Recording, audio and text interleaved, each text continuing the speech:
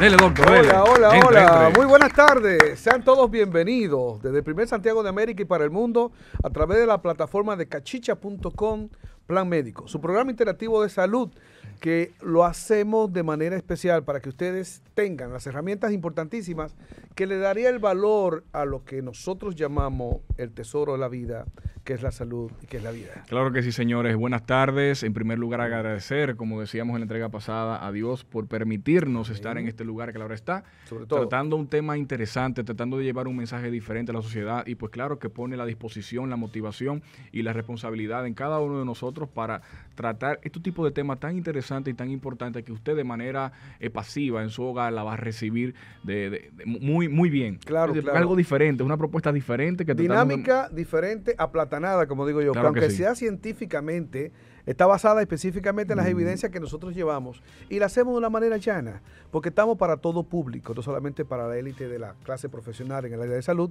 sino también específicamente para todo ciudadano, no importa incluso hasta el idioma, porque a veces lo llevamos de una manera que se hace mucho más práctico para que esto sea así. Eso es Plan Médico, eso es a través de esta plataforma maravillosa que nos conecta con todas las personas que interactúan de manera práctica, dinámica y de la manera también diría yo especial de utilizar las redes sociales en estos conocimientos que nosotros de manera especial y con mucho amor Claro que sí, claro que sí. Eh, como siempre, recordarles que estamos en vivo a través de Instagram, Facebook y YouTube y que en este momento tendremos una interacción personal con cada uno de ustedes a través de el YouTube, a través de Cachicha TV. Tema sumamente interesante, como siempre, con la participación espléndida del doctor Rafael Guzmán. Como siempre, iniciamos los programas con la frase del día. doc- ¿Y cuál es la ¿Cierto, frase doctor? del día? sí? Dígame usted una. La frase del La que día tenía. dice que nunca es tan oscura la noche que cuando se va a amanecer. Que nunca es tan oscura la noche, noche. cuando se va a amanecer. Sí, es más oscura la noche que cuando va a amanecer. O sea que cuando viene a ver, en el momento que uno va a tirar la toalla, ahí mismo amanece. Claro, eh, No hay- situaciones, exactamente, situaciones difíciles que nos llena de oscuridad, pero dice que esa oscuridad tan fuerte que se hace más densa es cuando ya el sol va a entrar y la romperá con la misma. Doctor, Y que, por eso es que siempre, siempre, igual que después de la tormenta, siempre viene la calma. que a veces, Eso doctor, es tenemos que hay situaciones fuertes que uno quiere como tirar Claro. la toalla primero. En la vida tenemos muchas situaciones, pero nunca tire la toalla, aguántenla. No desenfocarnos, aguantar. sí. Vamos a luchar hasta el último momento. que uno no sabe, doctor, qué nos va a sorprender al final. Uno piensa que está haciendo algo y esforzándose por algo y piensa que no está teniendo resultados, pero alguien te dice, mira, aguanta un chimán. Tú no sabes lo que puede venir. Y viene alguien, un ejemplo, te ve haciendo tal cosa, mira, me gustó lo que tú hiciste, yo te quiero en tal sitio conmigo. Claro, claro. O sea que uno nunca sabe. Las oportunidades están, están ahí y a veces lo más importante es saber aprovecharlas cuando nos llegan. Nosotros sí. aquí lo que hacemos es dar lo mejor nuestro y sí queremos que también ustedes tengan en cuenta que nos llegan momentos difíciles a todos en la vida y que nunca, nunca usted puede soltar ese elemento que le permite conectarse con la vida misma a través de la familia, a través del empleo, a través de la vida y saber que todo lo que usted logra necesita hacer un sacrificio especial. Y mire, Y doctor, por eso se valora. Hay una frase también interesante que la encontré y no quise dejarla pasar, o fueron varias también, pero la que le mencioné anteriormente, que decía que lo que conocemos es una gota de agua y lo que desconocemos es un océano. ¿Quién hubiese sabido que en estos momentos estaríamos volando eh, sobre los cielos en un aparato que pesa toneladas, de toneladas? hierro pesado. que tendríamos vehículos, que iba a existir el internet, que íbamos a tener celular. O sea que es muy probable que cuando la generación de nosotros pues pase a supuestamente mejor vida, como dicen, van a haber muchas cosas que nunca eh, tuvimos la posibilidad de conocer en ese tiempo. Siempre se van descubriendo cosas y cosas nuevas y por eso también traemos acá las efemérides. Que las efemérides, esos acontecimientos que quizás muchas personas desconocen que tal día, en tal año sucedió algo. Hecho que alguien descubrió que algo. marcó la historia de la vida y que hizo cambios también. Por eso, social. doctor, que uno no puede darse a entender que se lo sabe todo. No, no. Porque muchas veces la persona que cree que se lo sabe todo no sabe nada. O deja de aprender cosas por el simple hecho de, de aparentar que se la sabe y Mira, no escuchar. Hay una película llamada Star Trek, creo que fue la número 3, que en ella castigaron al capitán que dirigía esa nave especial. El, la nave, el nombre que, caramba, que de niño la- siempre la, la- la seguía. ¿Pero cuál capitán? ¿El de Eh, Caballito no el señor Spock, ese señor Spock, no, no, el capitán primero lo castigaron y fue porque permitió que dos de los jóvenes capitanes que estaban con ellos, que estuvieron en una en una, una, una diligencia que le mandaron a hacer en otro planeta diferente, al final fueron perseguidos por los habitantes de ese planeta, que eran todavía personas primitivas. Y se dieron cuenta que estos jóvenes corrieron tanto y vivieron un momento tan desesperado que saltaron al abismo y del mar, que supuestamente ya no había nada, salió la nave que lo cargó, lo levantó y lo llevó y se fueron.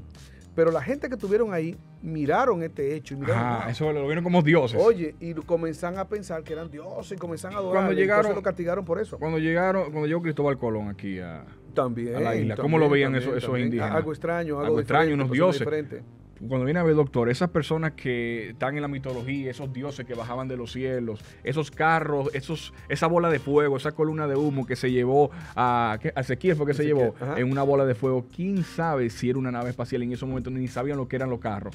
Ah, no, se le llevó una bola de fuego. Ah, yo venía siguiendo una columna de humo en el día y una luz por la noche. La columna de humo porque era una nave botando fuego, fuego por atrás y una luz porque esa nave tenía, claro está, iluminación, por la noche. Imagínate tú, en Imagínate la ignorancia. En estos mismos tiempos tenemos tribus en el África y tribus en el Amazonas que no conocen nada de modernidad. Nada. Pero tenemos esas personas que todavía están viviendo de cuevas, incluso y con taparrabos. Pero tenemos personas en el mismo planeta Tierra que están haciendo viajes interespaciales, ya diría yo. Están viajando, colocándose en plataformas. Sí, plataformas a nivel fuera del planeta Tierra. Entonces, ¿qué está pasando? Si aquí tenemos una población tan desarrollada, tan activa, tan fuerte, que estamos creando naves que nos llevan al espacio, también aquí en la misma tierra, sin salirnos de ella, tenemos personas que están viviendo todavía en la era de las cavernas, que están viviendo con cuevas, con taparrabos y con lanzas.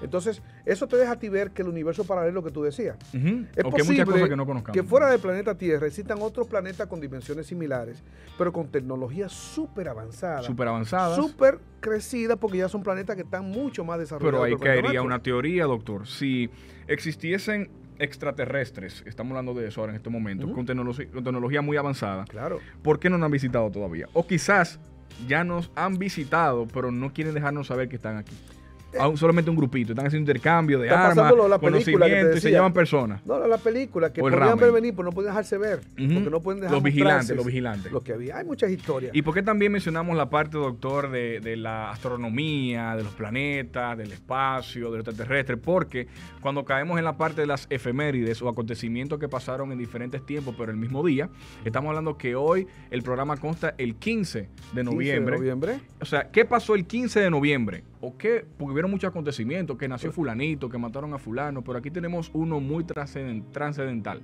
trascendental como dice acá. 15 de noviembre, nace en 1738 William Herschel, astrónomo germano británico, descubridor del planeta Urano. ¿Cómo si? ¿Y lo vio sin haber telescopio? Eh, no, ya existía el telescopio en esos tiempos, eso fue en el 1738. Ya Galileo había Ya él vio el planeta Urano, entonces vamos a hablar algunos datos pequeños del planeta Urano. ¿Y qué me importa a mí el planeta Urano? Pero vamos, señores, a conocer un, poco sobre cultura, eso. Un poco de cultura. El planeta Urano vendría siendo el séptimo planeta con respecto a la numeración dentro del sistema solar. Sistema solar. El séptimo. Y se encuentra a una distancia, por lo que puedo ver acá, de 2.900 millones de kilómetros de distancia. ¿De la Tierra? Del Sol. Del Sol. 2.900 kilómetros de distancia. 2.900 kilómetros. Es un dato sumamente interesante. ¿Cuánto dura un día en el planeta Urano? Lo tenemos acá. Es un día corto y los años son largos. Estamos hablando que Urano tarda aproximadamente 17 horas en dar una vuelta en su propia órbita. Pero acá duramos 365 días, ¿verdad? Para darle la vuelta al Sol. Y allá duran 84 años. Es más larga la vuelta tiene que O sea, en 84 años de la Tierra, ellos le dan una vuelta al Sol. pero eso por la distancia. Ok, eso no envejecen entonces. Eso está compuesto de, gas, es un planeta que no puede albergar eh, la, vida. Y es interesante, cada planeta yo pienso que tiene su función. Y quizás lo que uno entiende por vida es algo eh, subjetivo, porque quizás algo que para nosotros no tiene vida, lo tiene. La gente dice que esto es un compuesto o un material inerte, pero esto tiene que tener vida. Pienso yo, algún tipo de vida quizás imperceptible para nosotros. Es una materia, es una molécula. Pero eso está vivo, eso está aquí. Quizás es un estilo de vida o una forma de vida diferente en esos planetas y eso dentro del sistema solar. Recordando que el sistema solar conforma, está, es parte de, de la galaxia. Y hay Es millones y millones de soles o de estrellas, De estrellas. que una estrella es un sol, En y esta galaxia, imagínate en esta galaxia. en, en las otras como Pero están. también eso puede ser eh, teoría. Miren, puede el, universo también. es inmenso, son teorías porque nosotros no tenemos la capacidad de verle. Solamente se, No, doctor. se sugiere y se entiende que sí existen personajes especiales.